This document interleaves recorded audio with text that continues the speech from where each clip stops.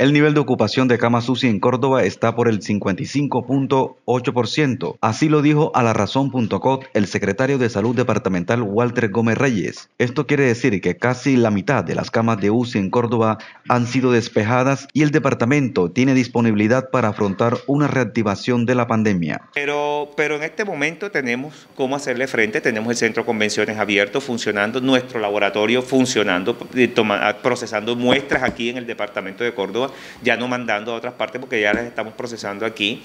No nos da miedo el positivo, nos da miedo no tenerle con qué hacerle frente. De casi 500 camas de cuidado crítico, más de 250 están ocupadas y el resto disponibles para pacientes que requieran algún tipo de atención intensiva por cuenta de este virus que afecta críticamente a población inmunodeprimida y adultos mayores. Adicionalmente, al departamento seguirán llegando ventiladores mecánicos para distribuir entre las instituciones prestadoras de salud que tengan capacidad instalada para ponerlos a funcionar. En las últimas horas se entregaron nuevos ventiladores mecánicos al Centro Cardioinfantil en Montería. El indicador de ocupación UCI en Córdoba se ha ido estabilizando tras afrontar momentos críticos donde más del 80% de las camas existentes estuvieron ocupadas con pacientes críticos.